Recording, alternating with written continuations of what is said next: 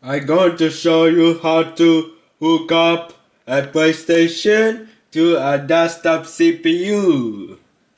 First thing, you connect the power to a PlayStation. Then you connect the USB HDMI capture card to your computer like this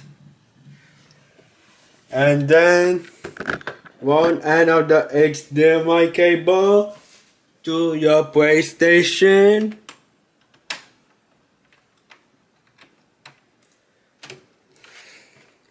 and the other end of the HDMI cable to a capture card.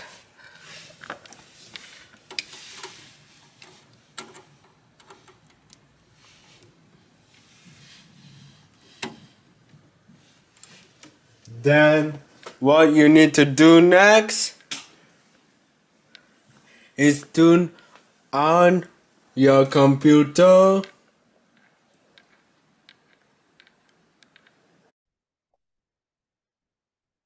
on your web browser of your desktop CPU, you put OBS Studio. Download. So you choose the operating system. Since I have it download, you have to go to the application, then click the first button, video capture, okay, choose USB video, and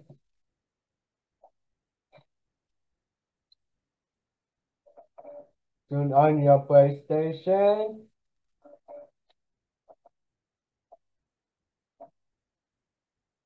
Then you choose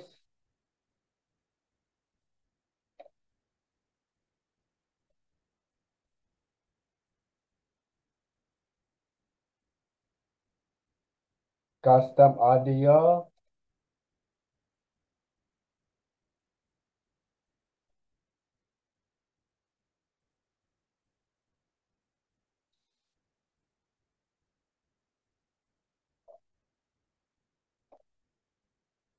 and make sure you select the correct one.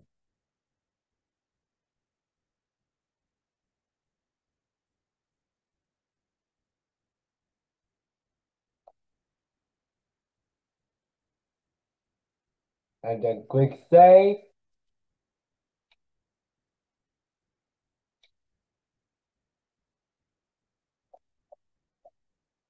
If you want to fix the audio, you can go to the advanced audio properties. Then you choose the one and mirror and output.